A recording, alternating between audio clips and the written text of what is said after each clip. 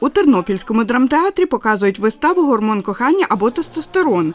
Її готували для показу на 24-му міжнародному театральному фестивалі Мельпомена Таврії, який щороку відбувався в Херсоні, розповів директор театру Борис Репка. На показ вистави прийшли більше 500 тернополян і гостей міста. Глядачам показують відеоролик, який в окупованому російськими військами Херсоні відзняли місцеві актори. Вони та їхні рідні виконують пісню Ой у лузі червона калина, аби продемонструвати, що Херсон це Україна.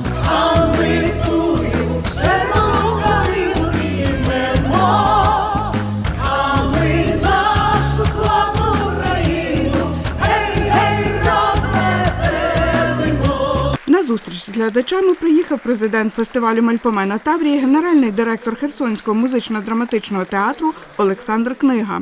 Чоловік розповідає, через війну фестиваль перенесли на театральні майданчики 57 театрів-учасників. Зробили це задля підтримки херсонців, які перебувають в окупації, та тих, що виїхали з міста.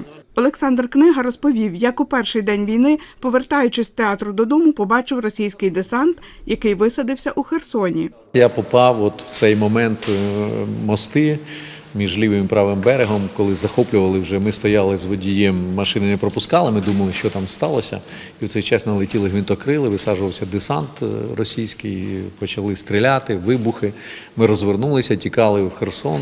Два місяці жили в окупації, розповідає чоловік. Каже, одного дня за ним приїхали російські військові. Коли я виглянув вікно, то побачив, що стоїть бронетранспортер, велика КАМАЗ і така башта на горі, і кулемет дивиться мені на вікна. Зрозуміло, що приїхали за нами.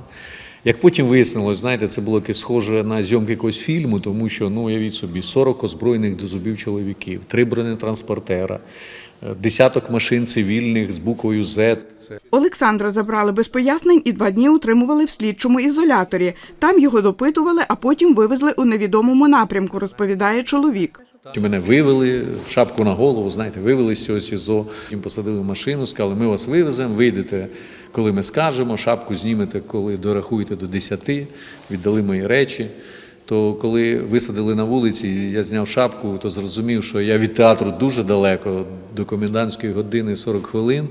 Е, Шнурки позабирали, ременя немає, е, речі, я така паніка в мене була. Щоб не наражати на небезпеку життя рідних, вирішили виїхати з міста, розповідає Олександр Книга. Показує відео, яке зняли дорогою. Техніка стояла, стояла е, сотнями розбиті. Просто вони вже навіть не могли йти трасою, вони поїхали лісом, старою дорогою. У них на картах був е, написано Тюрюпінськ, а у нас місто Олешки. Багато їх там було розбито. З одного боку радість, що рашистів розбили, з іншого боку, там і наших хлопців лежало дуже багато. Сьогодні Олександр Книга разом з дружиною та донькою живе у Львові. Каже, коли закінчиться війна, планує повернутися до Херсона та продовжити показ вистави сербського автора Милорада Павича Вічність і один день. Її прем'єра відбулася у переддень війни. Любов Гадомська, Андрій Прокопів. Новини на Суспільному. Тернопіль.